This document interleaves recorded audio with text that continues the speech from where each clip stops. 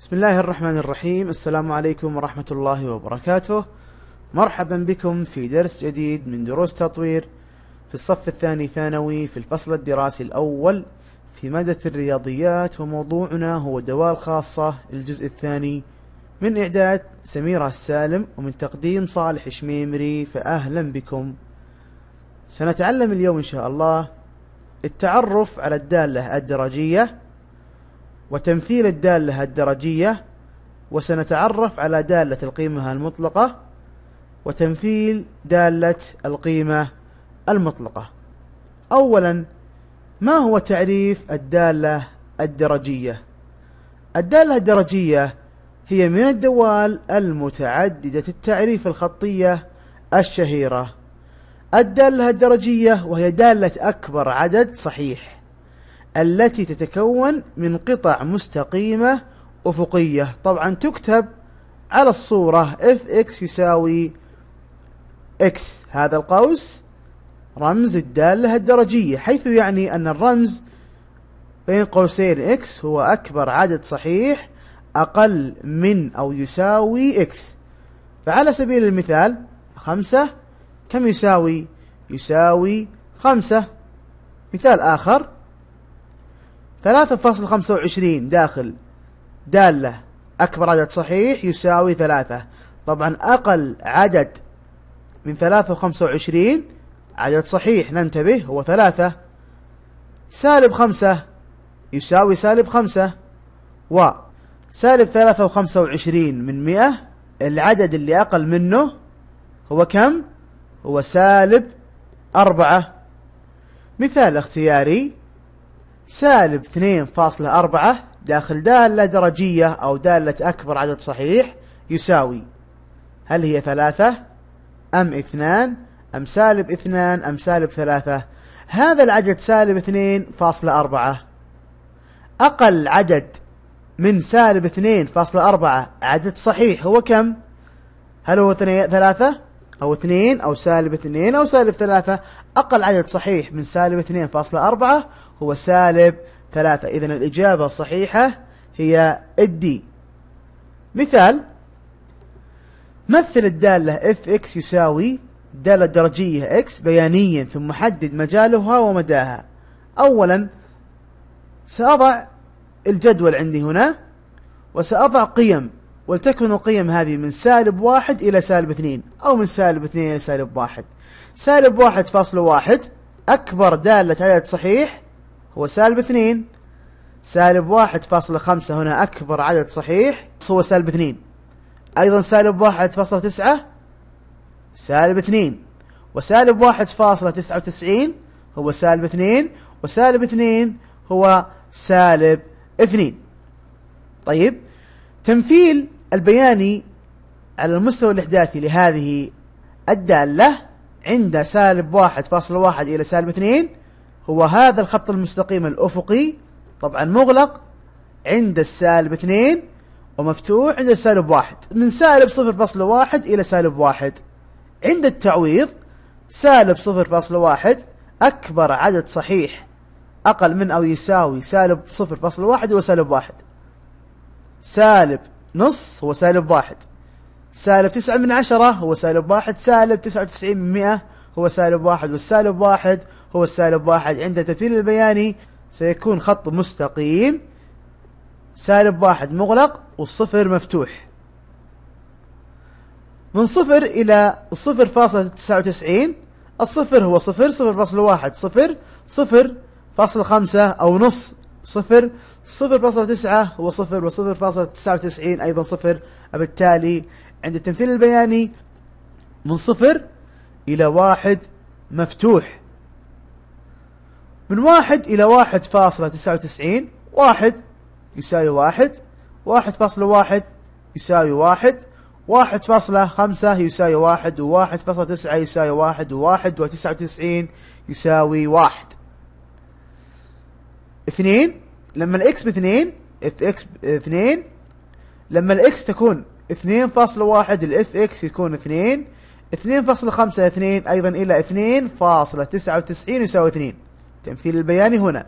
في النهاية لما أضع من الثلاثة إلى ثلاثة فاصلة تسعة وتسعين سيظهر عندي هذا الخط الأفقي.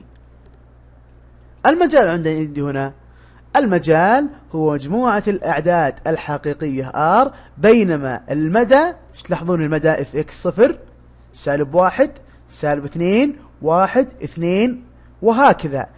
المدى عندي يا أحبة لا يوجد عندي كسور وبالتالي المدى هو مجموعة الأعداد. الصحيحة Z. تدريب. مثل الدالة F X يساوي دالة درجية X زائد اثنين. بيانيا. ثم حدد مجالها ومداها هنا التمثيل البياني وهنا الجدول. سأضع الجدول. X أكبر أو يساوي من سالب 4 إلى سالب 3 يعني أبدأ أول شيء من سالب 4 إلى سالب 3 سأبدأ من هذه القيمة. إذا x محصور بين السالب 4 والسالب 3 القيم اللي بين السالب 4 والسالب 3 كم تساوي؟ لما أعوضها بقيمة الإكس هنا راح يكون عندي زائد 2 كم يساوي؟ يساوي سالب 2 سالب 4 زائد 2 سالب 2 لماذا؟ لأن جميع القيم التي تكون بين سالب 4 وسالب 3 هي سالب 4 طيب سالب 4 زائد 2 راح تكون كم؟ سالب 2 إذا من سالب 4 إلى سالب 3 ستكون سالب 2 هنا عند ال Y أو ال F X.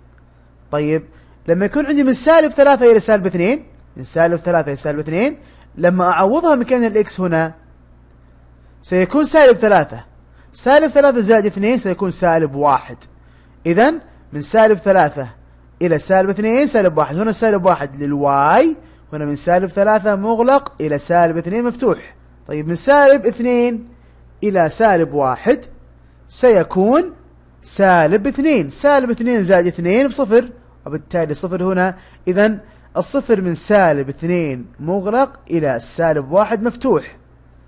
لما آخذ من سالب 1 إلى صفر سيكون عندي سالب 1 سالب 1 زائد 2 بموجب 1 إذا من سالب 1 إلى الصفر سيكون هنا عند الواحد. إذا سالب 1 مغلق والصفر مفتوح.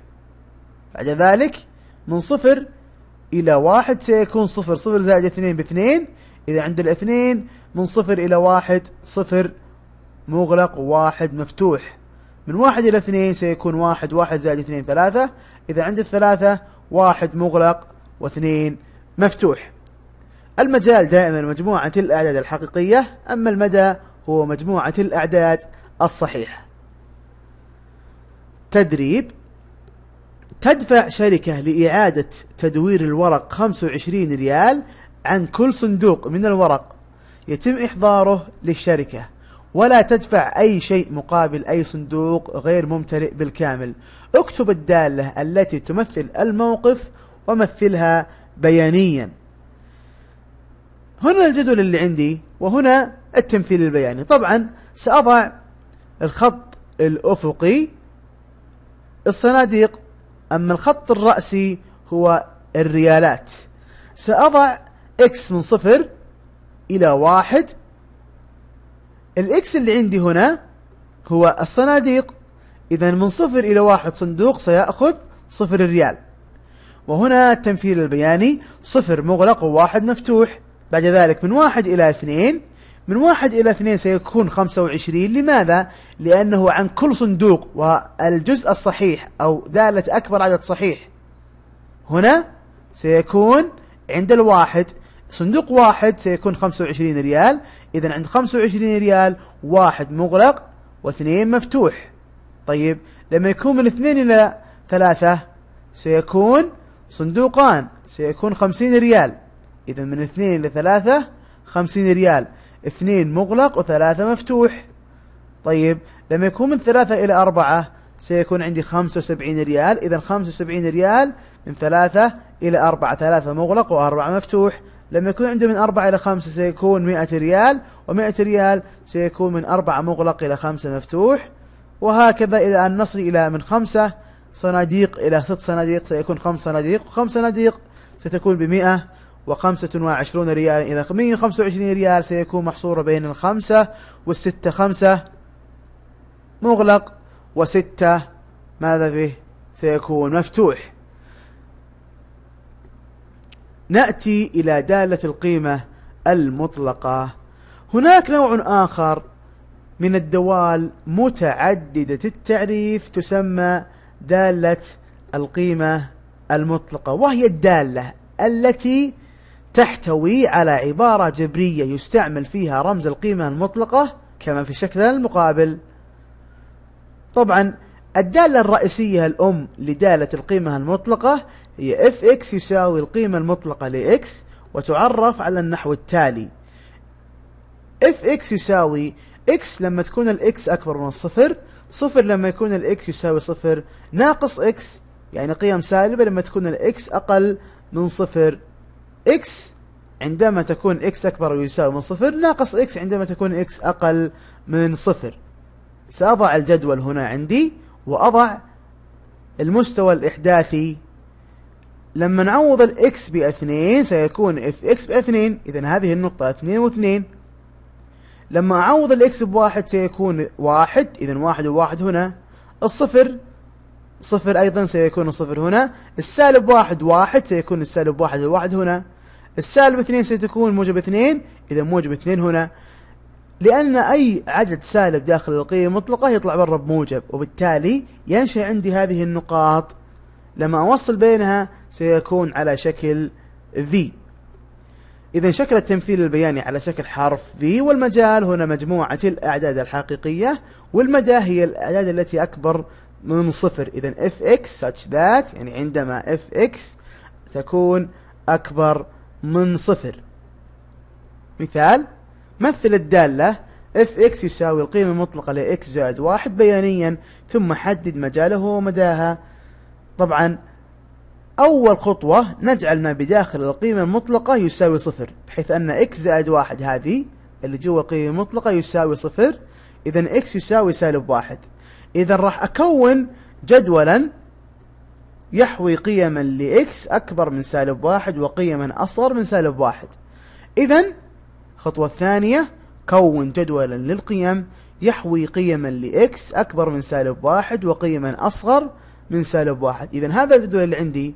أضع سالب واحد في النص وأضع قيم أصغر من سالب واحد وقيم أكبر من سالب واحد. هنا القيمة التي أكبر من سالب واحد وتحت القيمة التي أصغر من سالب واحد وأعوضها في هذه الدالة. عندما تكون ال x بسالب واحد ستكون f x بصفر. إذا هذه النقطة سالب واحد صفر. عندما تكون ال x بصفر ستكون ال f x بواحد. إذا هذه النقطة صفر وواحد. عندما تكون ال x بواحد ستكون ال f x باثنين. إذا هذه النقطة واحد واثنين. طيب عندما تكون ال x بسالب اثنين سيكون قيمة f x بواحد. عندما تكون ال x بسالب ثلاثة فإن قيمة f x ستكون بموجب اثنين. يظهر عندي على شكل حرف V. المجال هنا مجموعة الأعداد الحقيقية. بينما المدى هي مجموعة الأعداد التي أكبر من صفر. إذا fx such that fx أكبر أو يساوي من صفر. تدريب.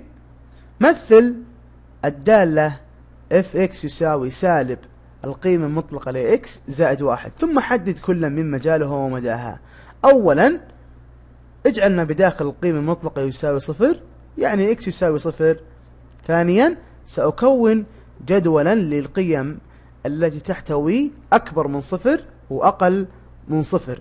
إذا هذا الجدول عندي صفر سأضعه في النص وأخذ قيم واحد واثنين وقيم أقل من الصفر سالب واحد وسالب اثنين. هذا المستوى الإحداثي عندي هنا. سأعوض ال x بصفر عندها ستكون ال f x بواحد لأن ناقص صفر زائد واحد واحد. لما أعوض ال x بواحد سيكون ناقص واحد زائد واحد صفر. لما أعوض الإكس بأثنين ناقص برا. وجوا القيمة المطلقة أثنين. إذا سيكون أثنين إذا ناقص أثنين زائد واحد بسالب واحد. لما تكون السالب واحد هنا مكان القيمة المطلقة ستكون سالب واحد. جوا القيمة المطلقة يطلع برا بموجب واحد. موجب عندي سالب هنا. سيكون سالب واحد زائد واحد صفر. سالب اثنين ستكون سالب اثنين زائد واحد ستكون سالب واحد. إذا هنا اثنين وسالب واحد واحد وصفر صفر وواحد سالب واحد وصفر وهنا سالب اثنين وسالب واحد. مجال هذه الدالة هو مجموعة الأعداد الحقيقية أما المدى هو جميع عناصر اف إكس التي أقل من موجب واحد. بداية عند الموجب واحد هو أقل لأنها على تحت. إذا f x such that f x أقل أو يساوي من موجب واحد. تقويم. دالة أكبر عدد صحيح للسالب pi. هل هي أربعة أو ثلاثة أو سالب ثلاثة أو سالب أربعة؟ من المعروف عندي أن قيمة ال pi هي ثلاثة فاصلة أربعة عشر. طيب ماذا لو كان عندك سالب ثلاثة فاصلة أربعة عشر؟ إذا عدد صحيح أقل من سالب ثلاثة فاصلة أربعة عشر هو ماذا؟ هو سالب أربعة. إذا سالب ثلاثة فاصلة أربعة عشر أقل منه هو سالب أربعة. إذا الإجابة الصحيحة هي ماذا؟ هي الدي. سؤال آخر.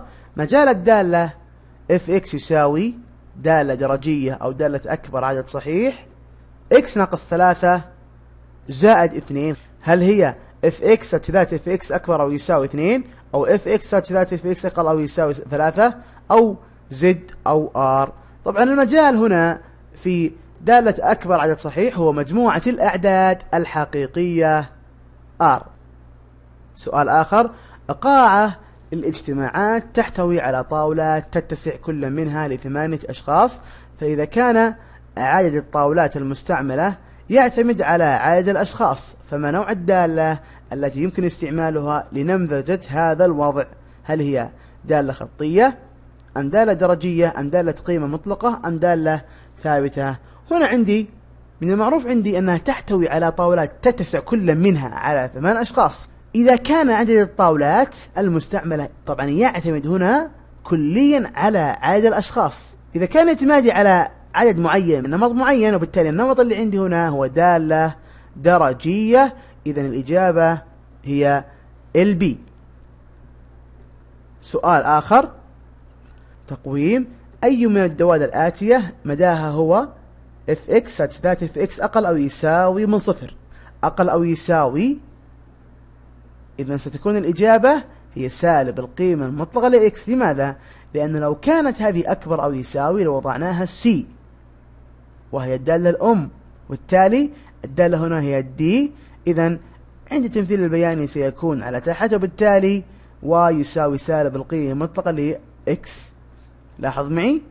الرسمة على شكل V لكنها للأسفل. إذا الإجابة هي ال D ماذا تعلمنا لهذا اليوم؟